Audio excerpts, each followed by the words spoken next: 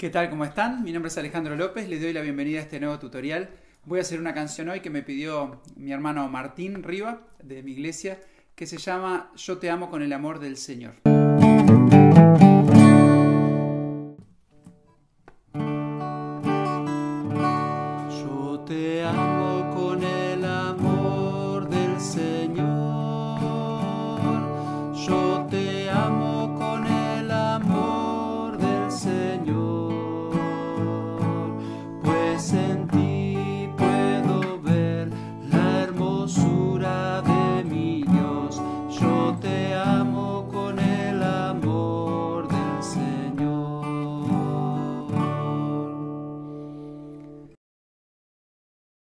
El ritmo de esa canción es básicamente un golpe en el bajo, después un golpe hacia arriba y después dos rasgueos hacia abajo.